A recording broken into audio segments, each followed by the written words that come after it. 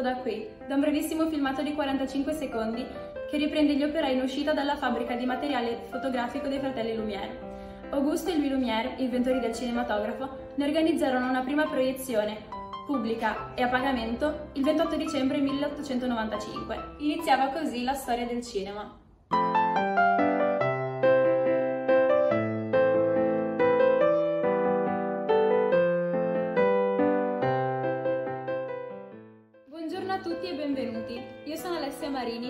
Oggi, insieme ai miei compagni di classe del classico europeo dell'Uccellis, vi accompagneremo in un tour virtuale delle storiche sale cinematografiche di Udine. Purtroppo oggi dismesse o comunque in disuso. Iniziamo subito. Buona visione e buon ascolto.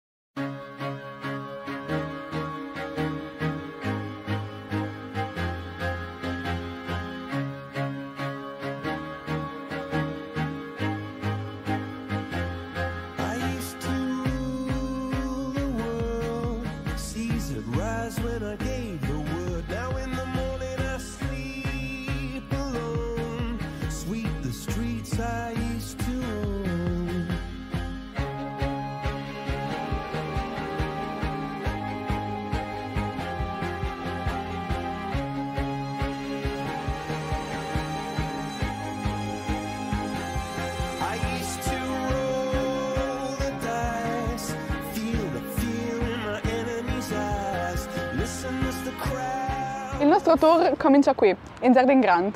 Oggi, piazza Primo Maggio. Se vi state chiedendo il perché di questa scelta, beh, allora guardate. Stasera, dopo il tramonto, a Piazza Garibaldi verrà proiettata la pellicola di successo internazionale Metropolis.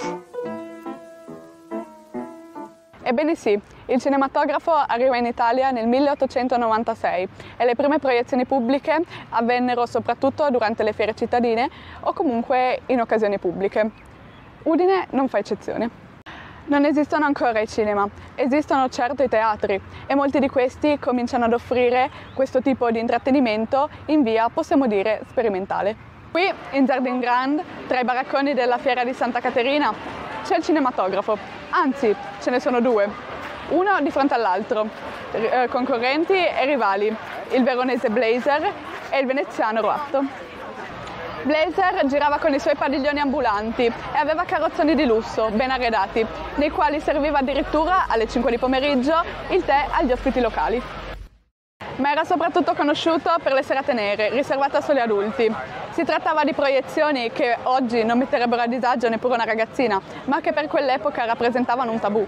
Dal lato opposto il veneziano Roatto cercava di reggere la concorrenza, assicurando che il suo cinematografo fosse il più rinomato e che viaggiasse tutta Italia. All'inizio del Novecento la rivalità tra i due ancora continuava, fino a quando il veneziano Roatto nel marzo del 1908 regalò a Udine uno dei primi cinema fissi, l'Edison, successivamente Savoia. Poco tempo prima era presente una sala, il Volta, successivamente Ambrosio e Serenissima, al pian terreno del Palazzo Contanini in via Manin, oggi non più esistente. Era già in funzione nel 1907 il cinematografo di Galanda, l'Excelsior, situato in via Vittorio Veneto, più precisamente dove oggi è situata la libreria Tarantola. Questo cinema non funzionò a lungo, infatti venne chiuso poco tempo dopo.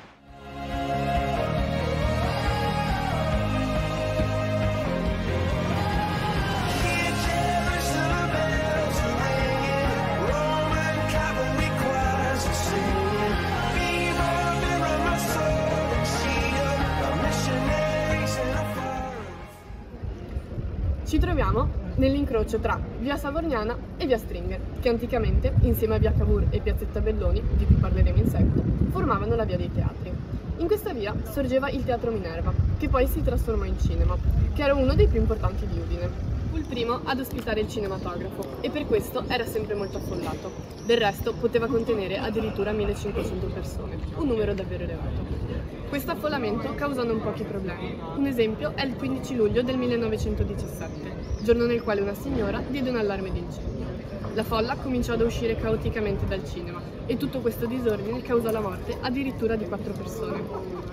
Il cinema riaprì il 20 luglio dello stesso anno, tuttavia per un certo periodo di tempo l'affluenza fu ridotta a seguito di alcune polemiche comparse sul giornale, nelle quali si criticava la possibilità di fumare all'interno del cinema.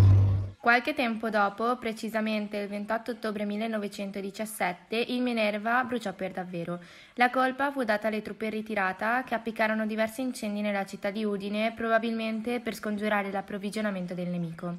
Quando le persone tornarono in città, del Minerva restava solo la sua facciata fatiscente. Questa venne immortalata poco prima del suo abbattimento da una foto scattata da Carlo Pignat.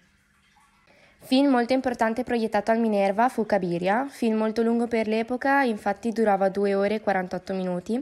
Di quest'ultimo ci furono diverse proiezioni, alla prima c'era poco pubblico, mentre alla quarta il cinema era affollatissimo.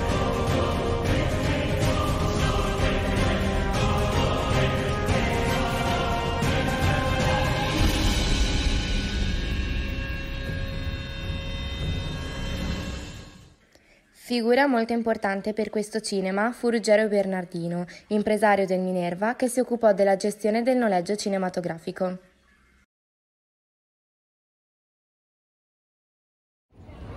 Piazza 20 settembre, dietro di me Palazzo Antivari, successivamente Kepler. È proprio qua dove si trovano oggi molti negozi che sorgeva il cinema Nostra. Il Cinemastra venne inaugurato nel 1948 con la proiezione del film Il Delfino Verde, che non era un capolavoro del cinema ma comunque suscitò l'interesse del pubblico che accorse per giorni. Alla serata inaugurale erano presenti molte figure di spicco dell'epoca come il prefetto Fradella e il sindaco Giacomo Santazzi. Il progetto fu dell'ingegner Ferdinando Vicentini e aveva una capienza di 1500 posti. Ospita numerose pellicole come Dieci Comandamenti, Ben Hur e Il giorno più lungo. Però l'apice del successo lo raggiunse quando nel 1951 proiettò il film Via col vento, un capolavoro che venne proiettato per la prima volta negli Stati Uniti nel 1939. Arriva qui in Italia perché durante la seconda guerra mondiale era vietata la, pro- la proiezione di film anglo-americani. Purtroppo il cinemastra avrà un, avrà un, declino molto veloce, infatti già nel 1966 eh, la sala raggiungeva il pienone solamente durante i giorni di festa, mentre negli altri giorni i numerosi posti vuoti erano una consuetudine. Infatti il 18, 10 maggio del 1970 il Cinemastra avrà la sua fine con il film I ragazzi del massacro. Non lontano dal Cinemastra si trova il Cinema Italia. Situato tra Viccolo Caeselli e del Ronco, fu inaugurato nel 1920. Nel 1922, nonostante le grandi pellicole come La nonna scomparsa e le comiche di Max Linder, il cinema fu chiuso. Grazie a un investimento da parte di un triestino di nome Pietro Sgobbino, il cinema riaprì presto. Tuttavia, nel 1927 si trovò nuovamente in difficoltà e nel 1929 chiuse. Percorrendo via Savorniana si giunge al Civico 11, dove oggi si trova l'insegna del Cinema Puccini, oggi cinema dismesso. Il Cinema Puccini una volta si chiamava Teatro Sociale e si ebbe nel 1914 la prima proiezione con Il Malamor mio non muore. Durante la Prima Guerra Mondiale il Teatro Sociale ebbe una rivalità col Teatro Minerva che si concluse poi con il Teatro Minerva ridotto in macerie. Nel 1928 il teatro sociale cambiò nome appunto da sociale a Puccini, poiché sociale dava l'idea di socialismo e non era l'idea che voleva trasmettere il cinema. Il cinema Puccini fu l'ultimo ad abbandonare l'idea del cinema muto, ma nel 1933-1934 eh, passò all'avanguardia con le primizie di Warner Bros. e Paramount. Nel 1938 il cinema ebbe radicali lavori di restauro, nei quali i palchi vennero tolti e il loggione venne sopraelevato e infine il 25 aprile 1963 fu l'ultimo giorno di vita della sala e successivamente la demolizione. Eh, per quanto riguarda l'ingresso, eh, all'entrata le persone facevano una gara per, arrivare, per avere i posti migliori, ma quelli effettivamente migliori erano riservati alle persone più abbienti.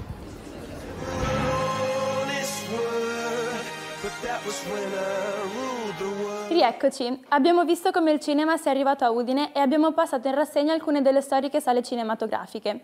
Prima di tornare al nostro tour e di tornare alla via dei teatri, vogliamo allargare leggermente lo sguardo e capire cosa stava succedendo negli stessi anni in Inghilterra e nella vicina Austria. Bene, lo facciamo con la nostra Emily Verani e Alina Ianci del liceo di Tanzenberg che quest'anno da circa due mesi sta partecipando alle lezioni nella nostra classe, partecipando a uno scambio linguistico tra i due licei.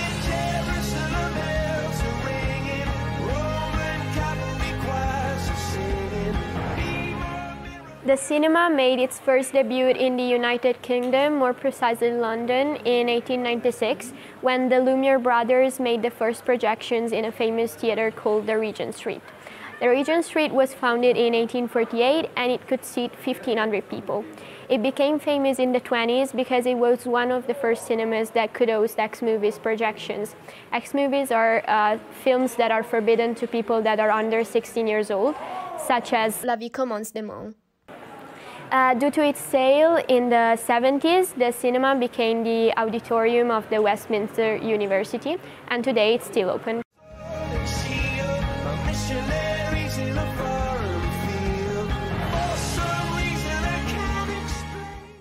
Der Kinematograph wurde erstmals ähm, 1896 in Österreich verwendet. Das erste Kino, das dieses Mittel einsetzte, war das Metro-Kino in Wien. Das Metro-Kino wurde eigentlich auch, ähm, 1840 ähm, als äh, Vergnügungsstätte erbaut und dann als Theater ähm, umgestaltet. Ähm, das Metro-Kino ähm, wurde ähm, von 1951 bis 1999 von der Kiva betrieben und später, 2002, wurde es dann vom österreichischen Filmarchiv übernommen und diese haben das Kino auf insgesamt 854 Plätze ausgebaut. Das Metro-Kino ist eines der wichtigsten Kinos in Österreich und es gilt als eines der größten westösterreichischen Kinos. Weiters wird das Kino ähm, seit 2019 als Vermittlung ähm, zur Filmgeschichte verwendet. I.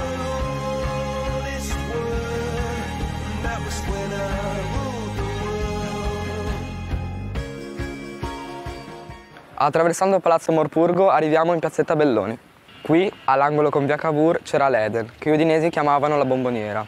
Fu inaugurato il 15 aprile 1922. L'edificio, progettato dall'architetto Provino Valle e realizzato dall'impresa Daronco, legava perfettamente con la piazza udinese. Il cinema contava 750 posti, divisi in galleria, loggione e platea. Inoltre al piano interno era presente anche l'Eden Bar, dove si beveva il miglior caffè di Udine. La costruzione dell'Eden rappresentava uno dei primissimi segni del risorgere della città dalla Prima Guerra Mondiale. Poco dopo l'inaugurazione, l'ideologia del fascismo, dilagata anche a Udine, monopolizzò l'intera programmazione cinematografica e all'Eden viene presentato il documentario di Umberto Paradisi Le camicie nere. Nel gennaio del 31 in sala vennero proiettati i primi film parlati e musicati, tra cui il capolavoro di Chaplin Le luci della città, film muto, ma con la colonna sonora sincronizzata alle immagini.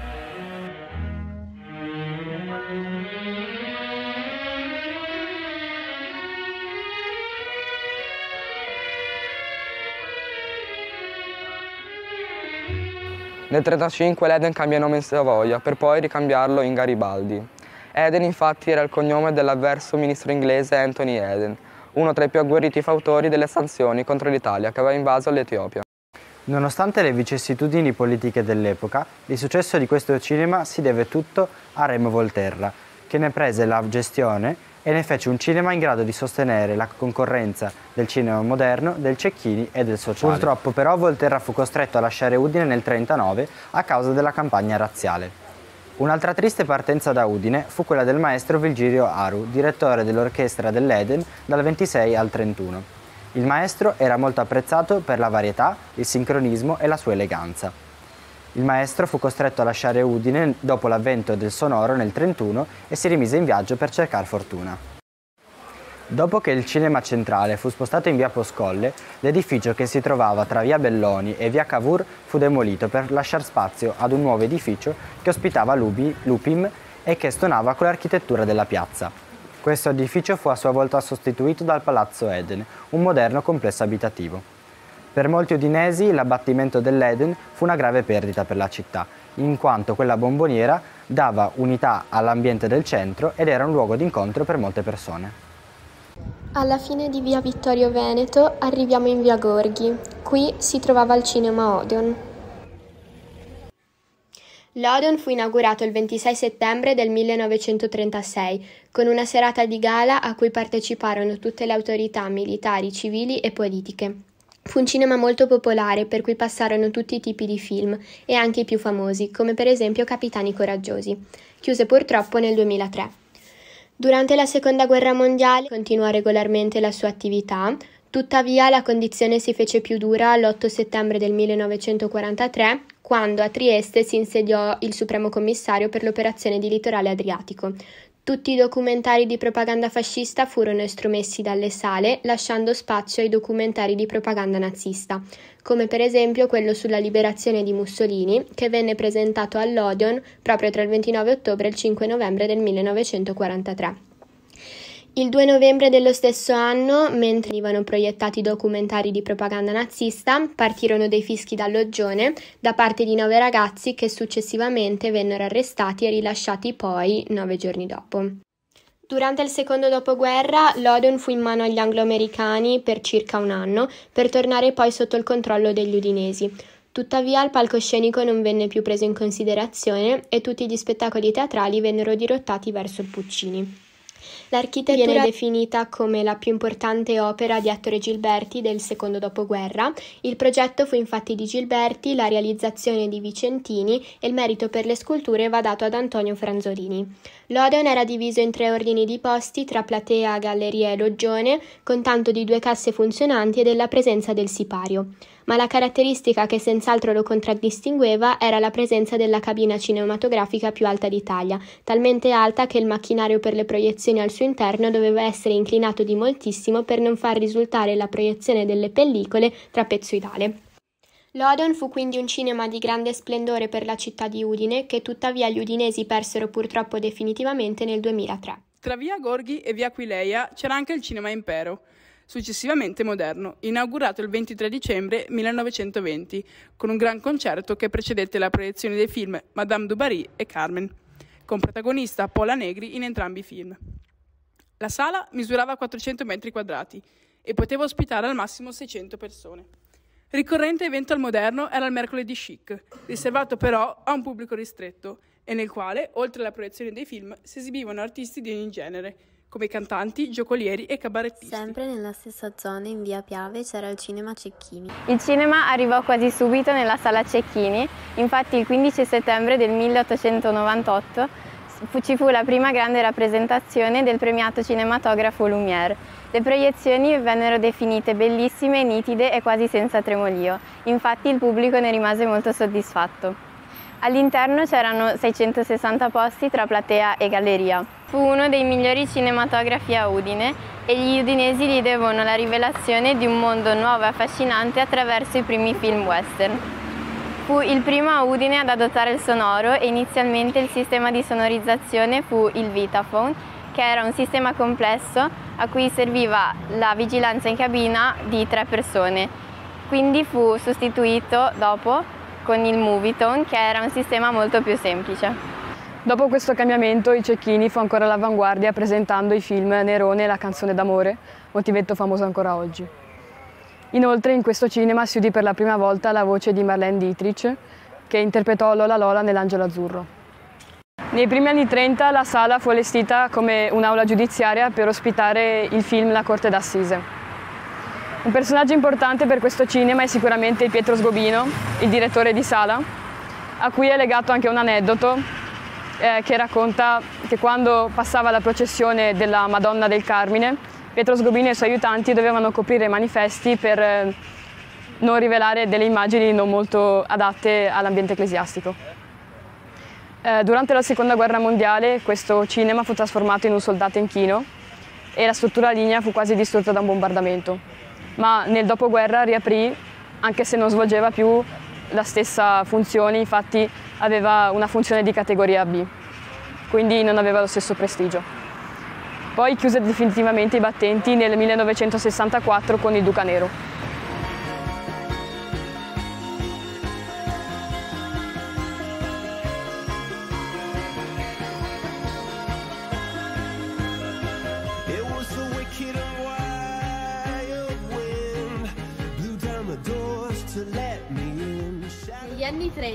Cinematografo era indubbiamente il passatempo preferito dei ragazzi e non era sottovalutato dalle organizzazioni che si occupavano della gioventù, come per esempio l'Opera Nazionale Balilla, gli oratori e le parrocchie. Naturalmente la situazione nazionale era riprodotta anche a Udine, con iniziative che andavano dai cinema per i balilla ai cinema parrocchiali. Il primo era preceduto da un obbligo scocciante, cioè l'adunata di buon mattino nel cortile della casa del balilla di via Girardini. Da lì i gruppi si muovevano verso i cinema del centro, come per esempio l'Eden, l'Impero e il Cecchini. Quindi, per guadagnarsi lo spettacolo, era necessario sottoporsi a evoluzioni igienico-militari.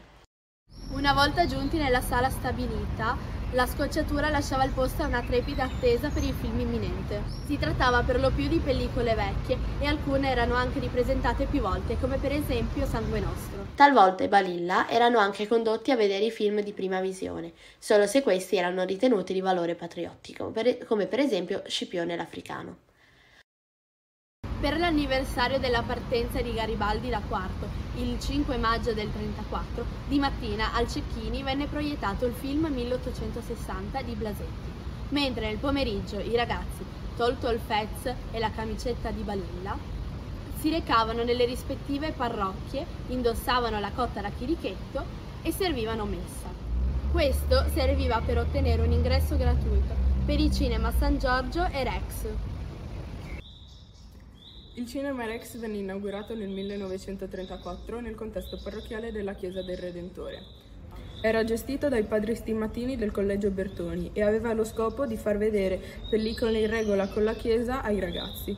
Il film inaugurale fu La Madonna Nera, un'anteprima di produzione polacca. Il pubblico del Rex cambiava in base ai momenti della giornata, infatti il pomeriggio era zeppo di ragazzi, mentre la sera si trovavano artigiani e operai. Durante il periodo di massimo splendore la diocesi di Udine contava all'incirca un centinaio di sale, purtroppo oggi però non esiste più nessuna. La grande trovata del Cinema Rex furono senz'altro i cinema all'aperto, che anche in caso di improvviso maltempo il problema era risolvibile facilmente semplicemente spostando il cinematografo nella sala interna. Dopo il 1943 tutti i Cinema Rex d'Italia cambiarono nome e quello di Udine diventò il Cinema Friuli.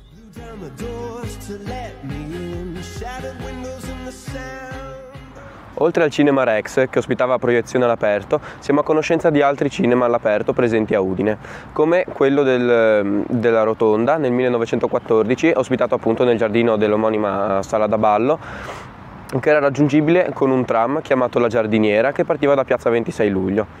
Inoltre nel 1929 si aprì un cinema all'aperto nella, nel giardino della birreria Moretti in Viale Venezia e eh, nel 1939 eh, venne inaugurato il cinema all'aperto eh, nel giardino del castello.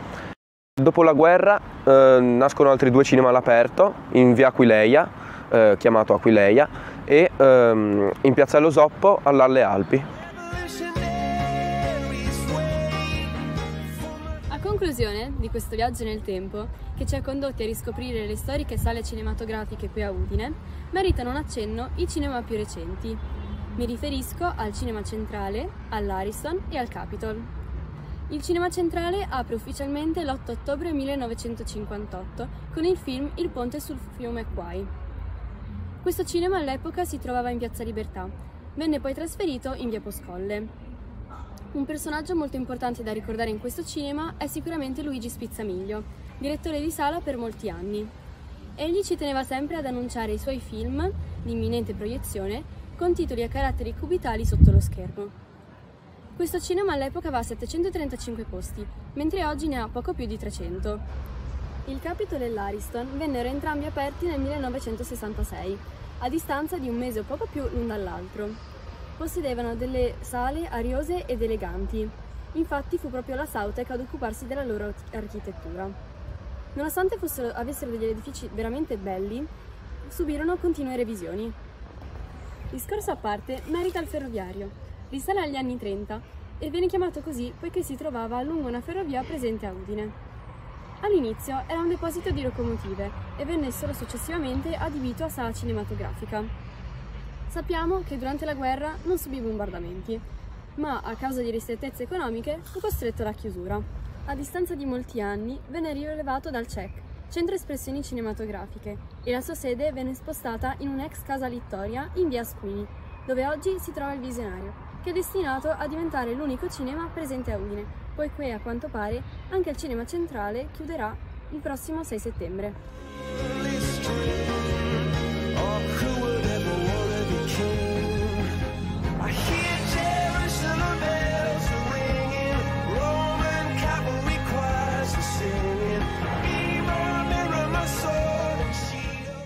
Prima di concludere è doverosa da parte nostra una riflessione. abbiamo appreso dagli studi di Mario Quarniolo, un noto critico cinematografico friulano, che nel 1943, nelle sole province di Udine e Pordenone, i cinema superavano il centinaio. Ebbene, ad oggi, nella stessa area, le sale cinematografiche sono appena 18. Molte sono le cause che portarono a questo declino. Dopo la seconda guerra mondiale, diverse sale tra Udine e Pordenone già non c'erano più, o perché distrutte dai bombardamenti o perché negli anni difficili delle ristrettezze economiche erano stati costretti a chiudere. I piccoli paesi di provincia, dove si trovavano alcune sale cinematografiche, anche a gestione parrocchiale, subirono un grave spopolamento e anche, di conseguenza, una notevole migrazione verso le città più grandi. Negli anni successivi, l'avvento e la diffusione della televisione portarono ad un'altra ondata di chiusura di cinema monosala. E qui il grave terremoto del 76 toccò anche il settore cinematografico, in quanto diverse sale in Carnia e nelle aree circostanti subirono gravi danni strutturali o addirittura chiusero. Pochi cinema che resistettero furono costretti alla chiusura a causa dell'arrivo in Italia dei multiplex, ovvero dei cinema con più di 8 sale, e anche a causa dell'arrivo dell'azienda Blockbuster che consentiva il noleggio di videocassette a poche settimane dalla proiezione in sala del film. Infine, l'avvento delle piattaforme di streaming online segnò per la storia del cinema un punto di non ritorno.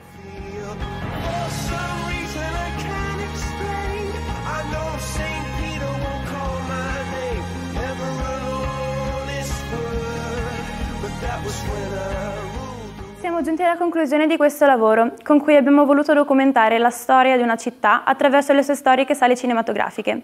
Per noi ragazzi è stata una scoperta davvero meravigliosa. Prima di salutarvi però concedeteci di ringraziare i nostri professori senza i quali questo non sarebbe stato possibile. Grazie di cuore alle professoresse Mara Bona, Sara Giuliani e Alessandra Tonelli che ci hanno consentito durante le ore di educazione civica di ampliare le nostre conoscenze sul cinema in generale e sulle sale storiche qui a Udine. Grazie alle professoresse Laura Zerilli, Margherita Walsh, Maria Francesca Zampieri ed Elena Scarpini che hanno permesso gli approfondimenti in lingua inglese e in tedesco. Grazie alla nostra educatrice di classe, Anna Maria Corvino, che ha coordinato le varie fasi del lavoro fino alla produzione e al montaggio dell'audiovisivo. Un ringraziamento va poi alla dottoressa Giulia Cane, della Mediateca Mario Quarniolo di Udine, che ci ha accompagnati in questo tour. E infine grazie a voi per l'attenzione che ci avete dedicato. Alla prossima!